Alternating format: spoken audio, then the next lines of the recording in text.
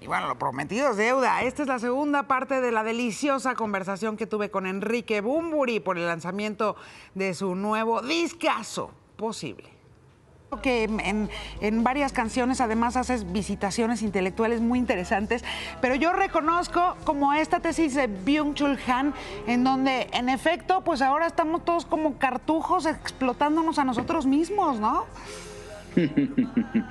Sí, efectivamente. Hay que, a, veces tenemos que diferenciar entre la verdadera vocación, la profesión y la explotación, ¿no? ¿Qué es lo que, a, qué nos dedicamos? ¿Qué es lo que realmente nos gustaría, a, qué nos gustaría dedicarnos?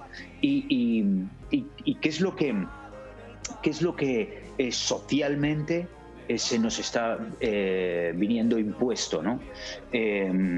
Aquí hay eh, esas reflexiones creo que son sustanciales para, para revisar nuestra propia profesión, que es lo que más tiempo nos quita de, en nuestras vidas. Eso y dormir. dormir porque lo necesita nuestro cuerpo, pero ojo, no cuando, no cuando estamos dormidos mentalmente, que también hace referencia a eso en este disco, ¿no? Efectivamente. No andar nada más ahí dormidos estar dormidos es una eh, en, sueños y en, la noche y en el día. Eh, y eso es en la noche, pues es, cuando se vale o cuando el cuerpo lo requiere, ¿no? Este, el descanso. Oye, Enrique, tú eres algo lo más cercano que hay a, este, a Leonard Cohen o al Bob Dylan en lengua castellana y así se te reconoce en el mundo. Enrique Bumburi como la gran estrella. Eh, no solo rockera, poética, este, y, siempre fugado hacia adelante en, la composición, en la composición musical, pero también filosófica y poética. Eh, la verdad es que yo creo que este disco posible para, para ti y para todas las personas que hemos seguido toda tu carrera, sí va a marcar un antes y un después muy potente, ¿no? Bueno, a mí me abruma por de pronto todo lo que has dicho eh, y, no, y, no me, yo no me siento así. Pero. Eh, pero qué modesto, por supuesto que, por supuesto que lo eres. Te lo agradezco mucho.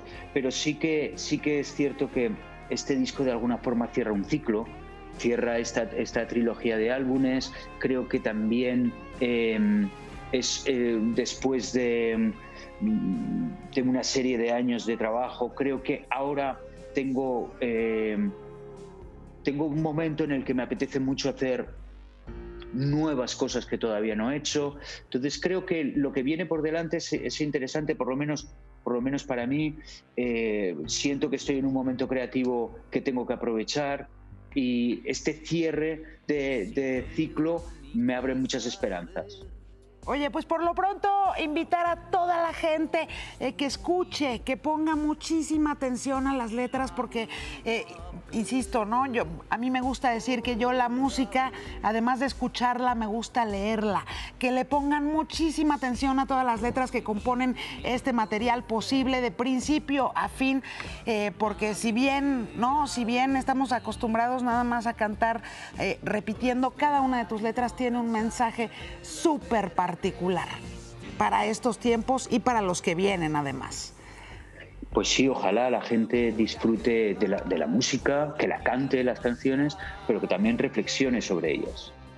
Oye, qué placer para mí y qué privilegio haber podido platicar contigo, Enrique Bumburi. Posible ya está disponible en todas las plataformas, en todas las plataformas, ¿no? En todas ellas. Sí, en todas las plataformas de streaming, el que quiera comprarlo en, formato físico también hemos hecho un, eh, lo tenemos en, en, CD, en vinil también, eh, formato precioso además que hemos hecho un disco verde con un single de regalo, un sencillo eh, que es Picture Disc. Es muy bonito para el que le guste y que todavía conserve el amor por el formato. Oye, y además has dicho en estos días que tú ni de chiste, ni de chiste, este, vas a hacer eh, conciertos eh, vía, como nos estamos comunicando tú y yo ahorita, eh, vía Zoom, porque lo que se necesita de un buen concierto, pues es que ya estemos en capacidad de volver a abrazarnos de nuevo, ¿no? Mm. Que no hay nueva normalidad. No tengo, no tengo, no tengo nada en contra de quien haga un concierto vía Zoom o quien haga, también hablaban de los conciertos en autocine o de los conciertos reducidos con, con el, público separado, con la distancia social. Yo pienso que esto tenemos que hacer mucha fuerza para que sea un, un estado temporal eh, transitorio en el que, bueno, pues...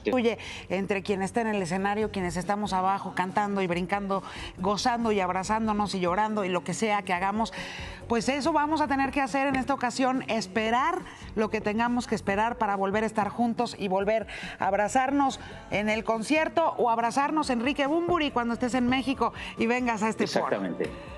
Pues eh, muchísimas ganas de, de volver a México. Espero que sea cuanto antes y, espero, espero verte en persona. Pero por supuesto, aquí te estaré esperando, Enrique Bumburi. Y por lo pronto, muchísimas gracias por este disco, muchísimas gracias por posible y por cada, cada una de las letras que, los, que lo componen y la música que está maravilloso y por tu voz, siempre por tu voz, eh, que me es entrañable, inconfundible y por supuesto a todos quienes te han seguido a lo largo de estos años. Muchas gracias, pues Enrique Bumburi, muchas felicidades, que de verdad este, este va a ser uno de los íconos de estos tiempos posible, insisto, de, principio a fin. Muchas gracias, Enrique, te mando un abrazo gracias. enorme. Qué placer más grande. Nos Igualmente, te, te, veremos pronto, esperemos que mucho más pronto de lo que, de lo que luego nos dicen que esto ocurrirá. Muchas gracias, Enrique Bumburi. Voy a hacer una pausa, ya regreso.